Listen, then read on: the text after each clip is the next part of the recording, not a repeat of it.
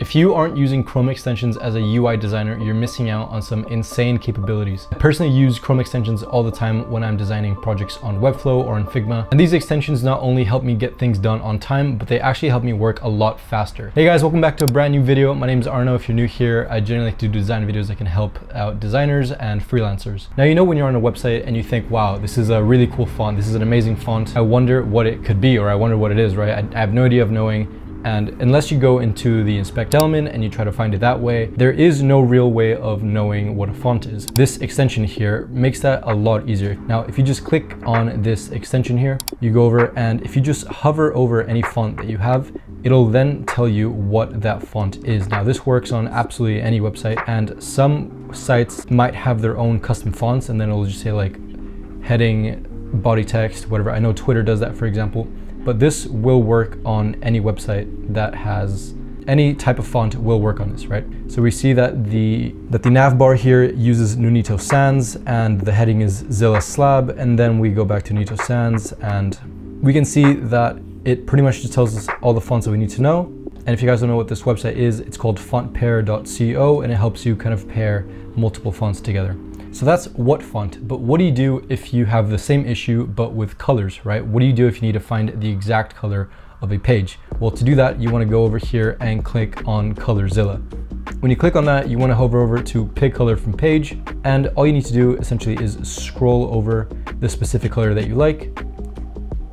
You can click on it, and then it copies it to your clipboard, right? So now you have that hex color.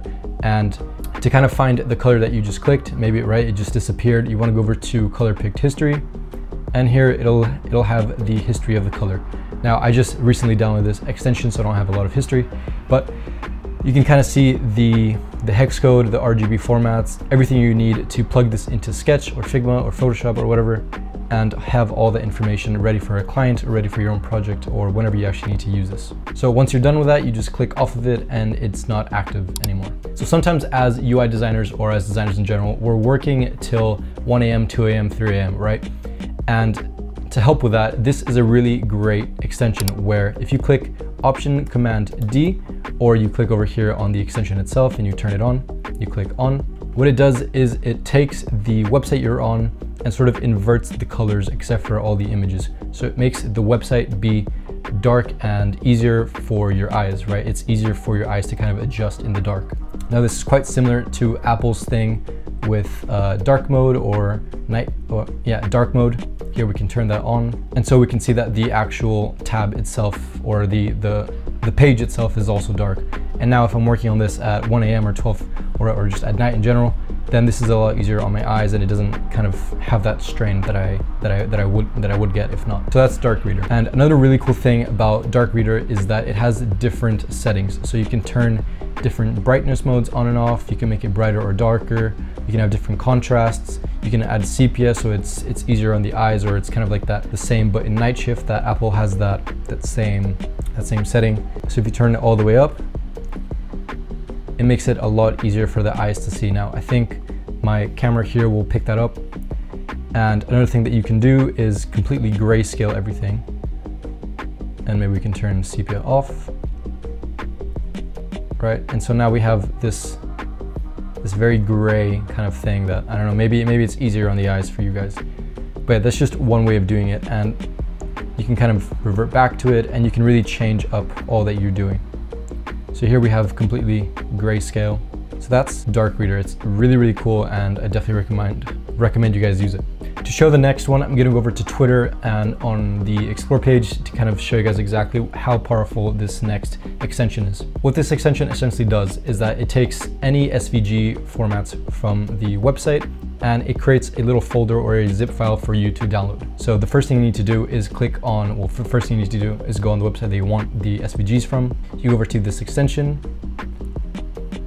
And here we see that all the, all the SVGs are easily downloadable and, and easy to copy. So if you want to have the exact icons that Twitter uses or YouTube or Facebook, whatever, for your Figma or for your sketch or whatever project you're working on, this is a really cool tool to use because you know that you're getting the exact same ones that they're using, right?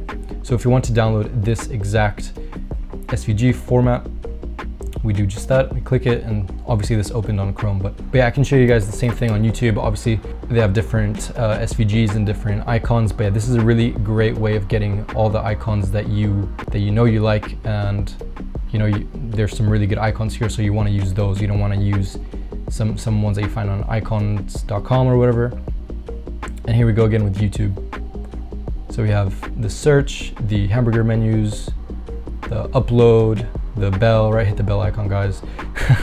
Make sure you guys subscribe to see more videos just like this one. So yeah, this is a really easy way to get all the icons from a website and you are, again, when you do this, you're sure that you get the ones that you want, right? You don't need to go over to icons8.com or whatever. So next up is Window Resizer. Now what Window Resizer does is it pretty much resizes the window that you're working on, right? And this is really helpful as a UI designer because when you're testing out the designs on a iPhone or on a laptop or a desktop, the, the margins and the, and the padding is completely different regarding on device. So what this does is if you click on the size that you want, it changes your screen to be that size, right? So it kind of makes it simple. So it makes a really easy way to kind of see how your design would look like on Chrome, but as, a, as an iPhone 5. And if we test that again with a different with a different size, like for example, a huge desktop, then it does just that. Now, obviously, it this is kind of counterproductive for me because I'm just on a on a 13 inch Mac.